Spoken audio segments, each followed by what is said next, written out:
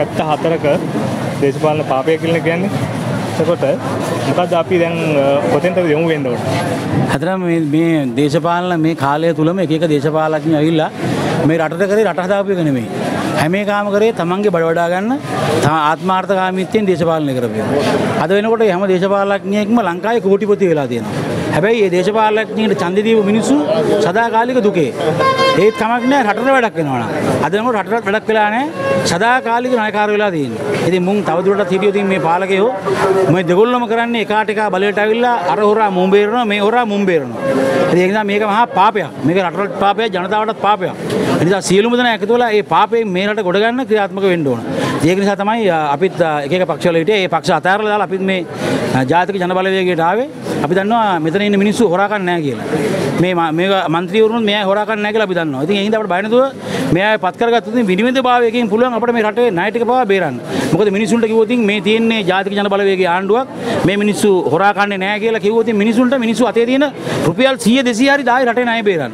මතු පරම්පරාව වෙනුවෙන් ගන්න ඕන එකම තීරණය ඒක. ඒ විතරක් නෙවෙයි පිටරටවල ඉන්න අපේ මිනිසුන්ට කිව්වොත් එහෙම අපේ රටේ ණය බේර ගන්න පුළුවන් තරම් සල්ලි එවන්න කියලා ඒ මිනිස්සුත් හොරා කන්නේ නැති විනිවිද භාවයකින් වැඩ කරන පක්ෂයට සල්ලි එවනවා.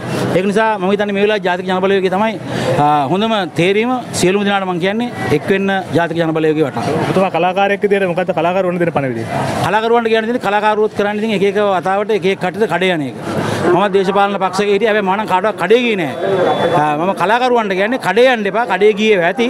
දැන් කරුණා කරලා ඒවයි මිදිලා සමාව අරගෙන රට හදන්න ගොඩ වෙන්න. මොකද ඔය හැම කලාකාරයෙක්ම දේශපාලනයට එන්නේත් ආත්මාර්ථකාමීත්වයෙන්. මොකක් හරි බලාපොරොත්තු වෙයි.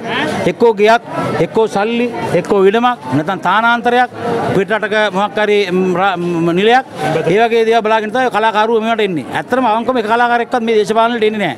එනවනම් එන්න ජාතික ජන බලවේගයට ඇවිල්ලා අවංකවම වැඩ කරන කලාකරුවෝ. නලාකාරය වෙන්න එපා. කලාකරුවෝ කියලා කියන එකට මේ ඕක නිර්වචනය කරාම කලාකරුවෙක් කියලා කියන්නේ අපේ ලංකාවේ කලාකරුවෝ නැහැ. ඉන්නේ කලා ශිල්පියෝ. ඒගොල්ලන්ට එක එක ශිල්ප පුළුවන්.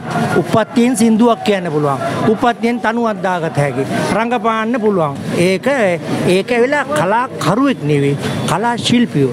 කලාකරුවෙක් කියලා කියන්නේ තමාගේ ඒ උප්පත්ති දක්ෂතාවයන් වැඩි දියුණු කරගනින් පොදු ජනතාව ඉස්සරහට අරන් යන්න. පොදු ජනතාව ඉදිරියට ගෙන යන්න පුළුවන්. කලාකරුවෝ නැහැ ලංකාවේ. මේගොල්ලෝ ඔක්කොම කරේ දැන් මේ ඉන්න මොකදෙනෙක් කරේ කලාකරුවෝ තමන්ගේ ජන රවින්ද්‍ර කිව්වා වගේ තමන්ගේ බඩගෝස්තරවාදී සහ තමන්ගේ අභිමතාර්ථයෙන් ඉෂ්ට කර ගැනීම. මම ජනතාවට කියනවා කැමති කලාකරුවෝ ලංකාවේ නැහැ. මේගොල්ලෝ කියන දේවල් පිළිගන්න එපා. මොකද මමත් කලාකරුවෙක් කලා ශිල්පියෙක් හින්දායි මම මේ කියන්නේ. කලාකරුවෝ කියලා කියන කට්ටිය කියන දේවල් පිළිගන්න එපා. ඒක පිළිගන්නව නම් හුඟා කල්පනා කරලා බලලා පිළිගන්න. මොකද ඒගොල්ලෝ කියන්නේ ඒගොල්ලන්ගේ වාසිය තකා කියන දේ. එහෙනම් කලාකරුවෝ කියලා ඉන්න කට්ටිය ඇවිල්ලා සර්ව බලධාරී දෙවියන් වහන්සේලා නෙමෙයි මේ කියන දේ හරීමයි කියලා කියන්නේ. කෙනෙකුට වෙනස් වෙන්න පුළුවන් ඕන UMP හැරි ඕන පක්ෂයක ඉඳලා ඒ වෙනස් වීම අයිතිය පිළිගන්නව නේද? වෙනස් වෙන්න පුළුවන්. හැබැයි වෙනස් වෙන්න ඕන සාධාරණව ඉඳලා.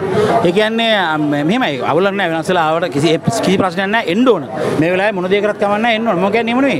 ඉන්න කාලේ මේගොල්ලෝ හොරුයි කියලා ජන ජන ජනතාවය දීපු කට්ටිය ඉන්නවනේ. එන්න පුළුවන් ආපහු ඒ හොරා කාපු දේවල් දීලා ආපහු දීලා එන්න පුළුවන් නම්. මොකද ඒගොල්ලෝ අන්න හරි. ඒගොල්ලෝ දේශපාලන වැඩවලට ගියේ අවංකවම දේශපාලනයෙන් මේ ජය ගන්න නෙමෙයි.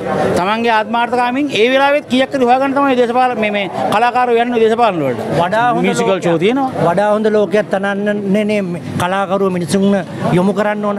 එහෙමනම් ඒගොල්ලන්ට වගකීමක් තියෙනවා. අපිට ගරු කරනවා මිනිස්සු. අපිට හැම තැනකදීම ලොකු ගෞරවයක් ආදරයක් කරුණාවක් තියෙනවා. එහෙනම් අපිට යුතුයකමක් තියෙනවනේ මිනිසුන්ට අපි අපි පෝෂණය නොවි මිනිස්සුන්ට පාලමක් වෙන්න. මිනිස්සුන්ට කියලා දෙන්න වඩා හොඳ දේ. හැබැයි එහෙම එකක් උනේ නෑ මෙතක ලංකාවේ. අන්න එකයි මං කියන්නේ ආපහු වෙන්න පුළුවන්. දීලා આવොත් ගත්ත දේවල් වඩාම හොඳයි කියන එක තමයි මම නම් කියන්නේ.